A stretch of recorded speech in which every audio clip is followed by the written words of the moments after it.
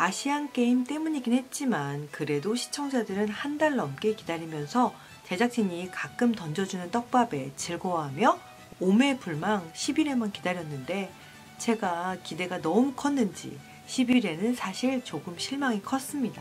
다른 거 다 떠나서 길채가 혼인만 안 했어도 이렇게 후폭풍이 크진 않았을 텐데 어떻게 그렇게 장현을 가슴 아프게 떠나보내고 자기는 혼인해서 저렇게 잘 살 수 있는 건지 길채의 감정선이 이해가 안 되더라고요. 길채는 구원무의 아내가 되어 저리 잘 사는데 우리 장현은 전생에 대체 무슨 대역죄를 졌길래 청나라에 가서 그리 고생하면서 그 와중에도 길채를 잊지 못하는 건지. 근데 10일에는 반전을 위한 밑밥이었네요. 여러분, 구원무가 혼인 첫날 밤 술을 마시며 길채한테 부인이라고 하는데 길채 표정 보셨나요? 고개를 숙이며 구원무의 시선을 피하더라고요. 만약 정상적인 혼례였다면 구원무가 부인이라고 했을 때 길채도 웃으면서 서방님이라고 했겠죠. 근데 길채는 왜 서방님이란 소리를 안 했을까요?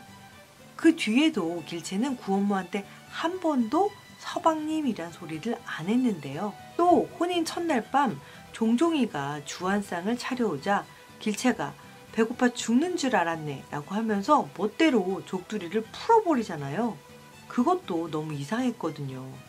길채가 납치되어 사라졌을 때도 구원무의 표정이 사라진 부인을 걱정하는 남편의 표정이 아니라 도망간 길채를 의심하는 표정이었고요.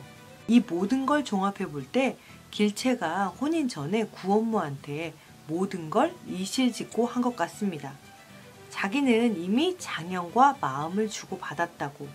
하지만 아버지와 가족들 때문에 떠나지 못한 거라고. 그렇게 길채는 구원무한테 위장 결혼을 제안한 것 같은데요. 서로 대외적으로 부부의 역할은 하되 초야는 치르지 않은 그런 형식적인 부부관계를 제안한 거죠. 그래서 혼인 첫날 밤 그런 말도 한 것 같아요. 좋은 안사람이 되겠습니다. 믿어주세요. 라고. 그래서 혼인 첫날 밤 구원무와 함께 방에 있지 않고 혼자 마루에 나와서 달만 쳐다본 거죠. 아마 그 달을 보며 속으로 장현이 예전에 말했던 달빛 약속을 떠올리는 것 같았는데요. 길채는 은장도를 계속 팔아 가족들을 먹여 살리기 위해 어쩔 수 없이 위장 결혼을 한 것 같습니다. 구종사관과 결혼하면 누구도 길채를 함부로 건드리지 못할 테니까요. 하지만 위장 결혼 말고 정말 다른 대안은 없었을까요? 아무리 초야를 치르지 않은 부부라도 길채가 이미 구원모와 혼인을 했다는 그 자체가 너무 실망스럽더라고요. 차라리 자발적인 파혼이나 길채 아버지의 3년상으로 길채가 혼인을 하지 않은 상태에서 청나라로 끌려갔으면 좋았을 텐데 정말 아쉬움이 남는 11화였습니다.